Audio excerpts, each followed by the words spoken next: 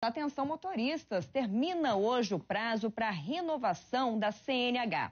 Quem está com a carteira vencida desde junho de 2020 tem que correr por causa da pandemia. A gente sabe que o Detran estava aceitando o documento vencido, uma medida autorizada pelo Conselho Nacional de Trânsito que estipulou novos prazos para estender a renovação.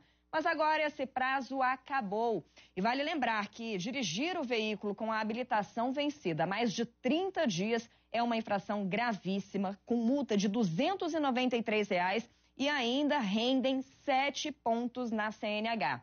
Se a sua carteira de motorista venceu em março, abril e maio de 2020, o prazo para a renovação acabou no mês passado.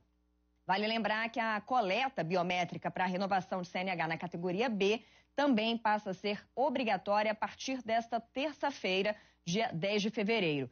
Segundo o Detran, esse procedimento garante mais segurança e facilita a utilização de serviços digitais oferecidos pelo departamento.